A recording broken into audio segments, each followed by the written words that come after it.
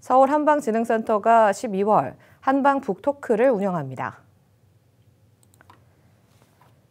한의원의 인류학의 저자 김태우 교수와 함께 인간 사유의 근본에 대해 알아보는 시간을 갖게 되며 한방에 관심 있는 주민이라면 누구나 참여 가능합니다.